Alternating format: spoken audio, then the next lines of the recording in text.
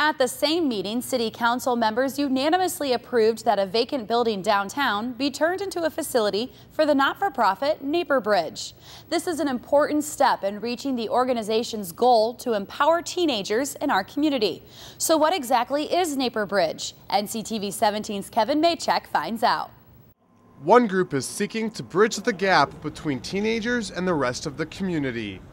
NaperBridge is wrapping up its first year as a not-for-profit, providing teens with special events catered towards them. We want to be a welcoming, safe place for Naperville teens to uh, belong, to create, to play, to perform. Our vision is that we would have a downtown location that would serve as a, as a physical hub for teens to, to call their own.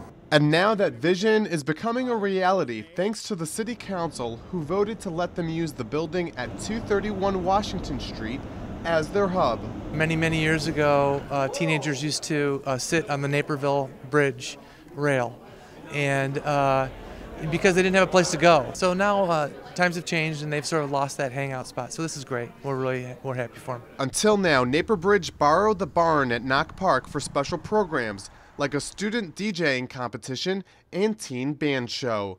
The group's 10 student advisory board takes ideas from the larger teen population and turns them into events. Being on the student board, I can tell you right now that I've gained leadership skills, communication skills, um, planning skills, like actually real skills I can apply to everyday life. Moving forward, they'll have a space for activities all their own in the heart of downtown, fostering a sense of belonging within the community it really tackled the uh, the problem that teens have when they're bored. They have nothing to do, so they just go do bad stuff sometimes.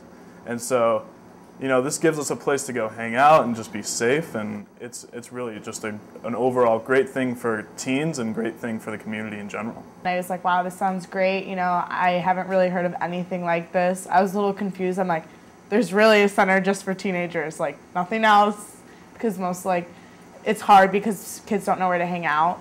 The group's new building is still being reconditioned for use, so NaperBridge will hold two more events here at the barn, a junior high school dance on October 5th and a high school dance on October 19th.